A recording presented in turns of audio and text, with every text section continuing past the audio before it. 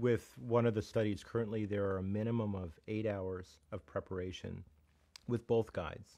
Um, ideally, there's a male and female guide, and we spend a full eight hours um, sharing with them thoughts, um, learning about their history, having very clear discussions. Um, what are you most afraid of? what do you most not want to re-experience or go back into?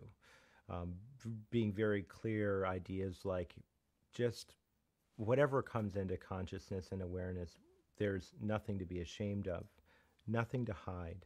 We're all equally human. Um, really understating a shared humanity in this, that we're just here to be supportive and helpful, um, not to be embarrassed, not to be afraid.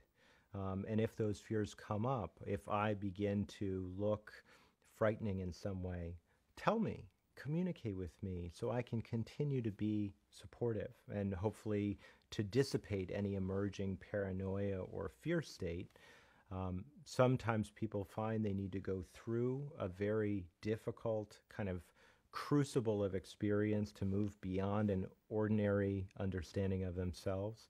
Um, some people effortlessly move through into very developed altered states of consciousness that are far beyond what we call ego or the kind of conceptual self which the person is habitually aware of.